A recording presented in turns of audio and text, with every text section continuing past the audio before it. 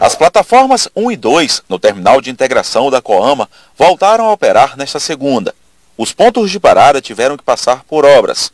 As plataformas apresentaram problemas estruturais após uma forte chuva que derrubou a estrutura metálica que fazia parte do telhado do terminal, comprometendo as plataformas 1 e 2. A chuva que abalou as estruturas do local foi no mês de março e a interdição para a recuperação do espaço durou cerca de três meses. Então, nós estamos chegando na segunda fase do que foi acordado no Poder Judiciário. Né?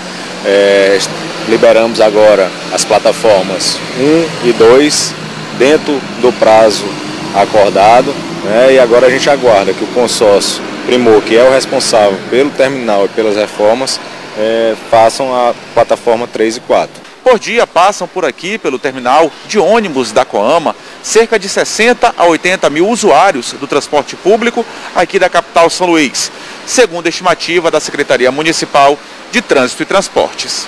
Agora que as plataformas 1 e 2 voltaram a funcionar, as outras plataformas existentes no terminal, de números 3 e 4, ficaram interditadas para mais uma etapa da reforma.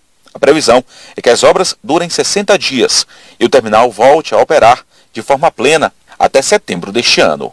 Na plataforma 3 e 4, ela inicialmente, na primeira fase, ela foi feito um paliativo né, para é, segurar a operação dentro do terminal e agora eles vão entrar é, em definitivo reformando, muito provavelmente trocando as estruturas que estejam comprometidas.